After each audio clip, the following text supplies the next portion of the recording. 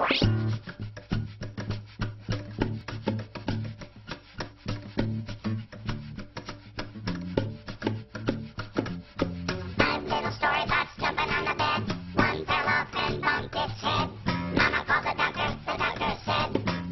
StoryBots jumping on the bed.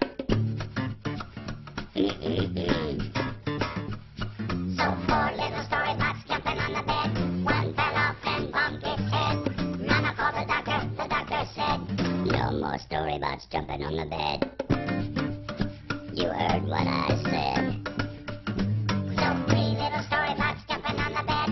One fell off and bumped its head. Mama called the doctor, the doctor said, No more StoryBots jumping on the bed.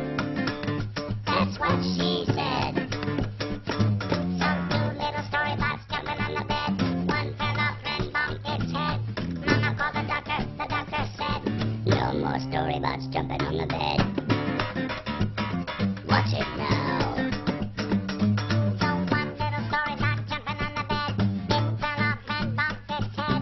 Mama called the doctor, the doctor said, No more StoryBots jumping on the bed.